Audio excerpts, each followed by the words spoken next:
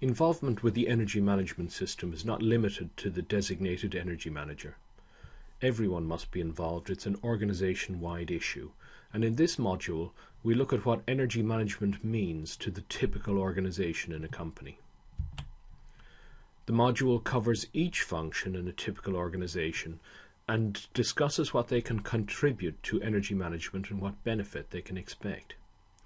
Completing this module will help you understand the breadth of workforce participation needed in a fully effective energy management system but again, we should emphasize that good energy management does not generate extra work. All energy management tasks should be integrated into daily business operation. Top management is the owner of the energy management system. They will gain from the system's positive impacts on the business and they must take ultimate responsibility for the outcomes from the system. Top management should appoint the energy manager as the system champion they authorize establishment of the system and declare their commitment to it. They must establish an energy policy, provide the resources needed for success, evaluate performance, and constantly review it. The benefits for top management include improved profitability, stronger management, more skillful employees, fulfillment of corporate social responsibilities, more mo motivated work workers, as well as reputational benefits. Finance and accounting are major information providers to top management. They're responsible for the proper integration of energy management with corporate cost management and for the integration of all reporting. They can provide financial assessments of energy initiatives. Similarly, they can, are necessary to verify the value of savings from energy initiatives.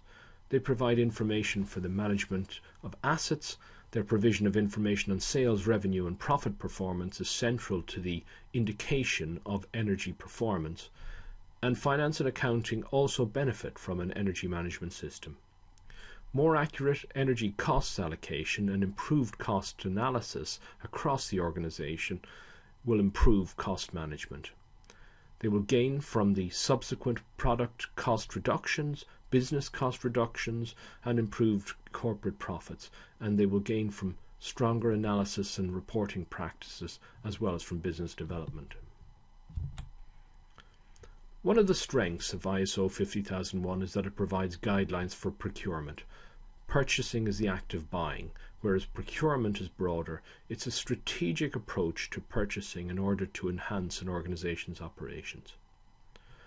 Practices compliant with ISO 50001 include the use of the life cycle assessment in purchasing, evaluations of the cost reductions from improved environmental or energy management activities, and improved supply chain management. The purchasing and procurement function will benefit from cost reductions and improved procurement practices as a result of energy management. They should also benefit from improved communications throughout the supply chain. The importance of good after sales will be highlighted. Safety will be enhanced and environmental impacts reduced, while the importance of procurement and purchasing to business performance and business development should become more obvious. As people are the key factor in energy management, the Human Resources Department has a very important role in energy management. HR should take energy management into account when assessing the skills needs of the organisation. They should draw up a plan to ensure any skills gaps in relation to energy management are met. They should conduct talent searches to fill those skills gaps. And they should identify human resources outside the organisation who could fill gaps where necessary. In turn, the energy management system can benefit human resources by providing enhanced skills, quality, and competitiveness, recruitment of high potential individuals, long term sustainable outputs in specialized fields, promotion of information sharing and more accurate assessments of the organization's human resources and development needs, as well as overall cost reductions and business development. Most accidents in business are energy related and most are caused by people not following procedure or because there's a lack of procedure. In fact, energy management can, cannot be separated from health and safety. Health and safety should provide analysis of energy related issues from health and safety perspectives with recommendations and actions to improve performance, as well as input to the development of the energy and environmental management systems from a health and safety perspective. And health and safety will benefit from better workplace health and safety, improved sustainability planning that takes account of health and safety and business continuity plans, as well as better public attitudes to those plans, and overall reductions, uh, uh cost reductions in business development. The key function of public relations in energy management is to promote the benefits of the company system through external communications. The ultimate goal is to communicate to stakeholders that the organization is fulfilling its corporate social responsibilities by developing the business sustainably. Communicating externally about the organization's energy management, environmental and energy best practice factory tours, including energy performance improvement and CSR reports, coordinating with the energy management team to respond to energy related inquiries in a timely way, and promoting the organization's environmental activities and their contribution to the community are all roles that should be taken on by public relations. And PR will benefit from the business improved sustainability, growing awareness of sustainability, fulfillment of its corporate social responsibilities, corporate image gains, as well as the overall cost reductions and business development gains.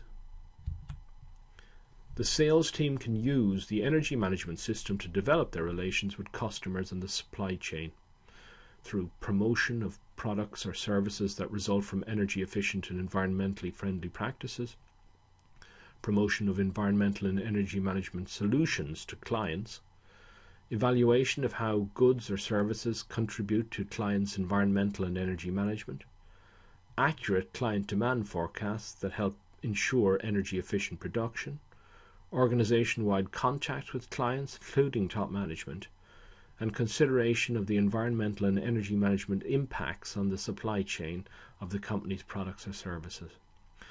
Many of the benefits they see should be tangible increased orders and revenue, improved demand forecast accuracy, specific energy consumption improvements, production efficiency improvements and a decline in energy consumption intensity, inventory and industrial waste reduction, improved sales efficiency, improvements in business sustainability and corporate image, as well as those overall cost reductions in business development.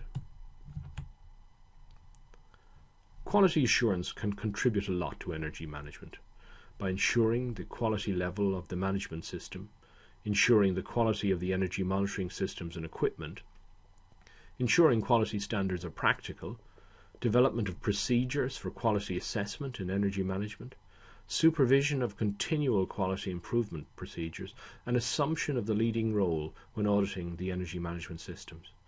And quality assurance will benefit from ISO 50001's fit with ISO 9001 quality management and ISO 14001 environmental management systems, as well as the organization having the opportunity to become ISO 50001 certified if desired. They can be certain that energy performance indicators are valid, their quality management operations will be more efficient, they'll gain a better overview of the organization's competencies, they'll benefit from the energy savings and environmental reductions, and from the overall cost reductions and business development. Whether they're called the Information Systems Department or the Information Technology Department, an organization's IT team can play a key role in energy management.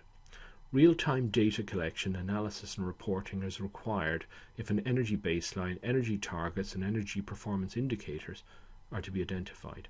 And the IT team can contribute to the energy management system by planning and implementing the system, helping to provide real time energy and production data, supporting the verification of real time energy savings using IT to visualize energy movements remotely, planning and implementing the energy monitoring system, ensuring an optimal approach to IT organization wide, building an information sharing infrastructure with a real time communications approach, and upgrading network efficiency.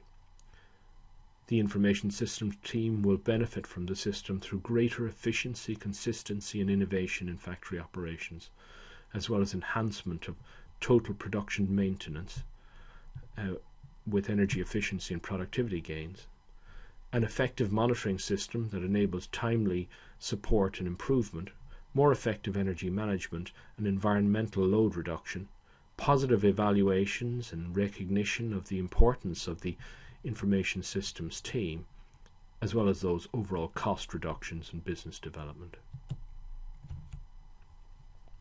By implementing an effective energy management system, the entire workforce will maximize the positive impacts from that system.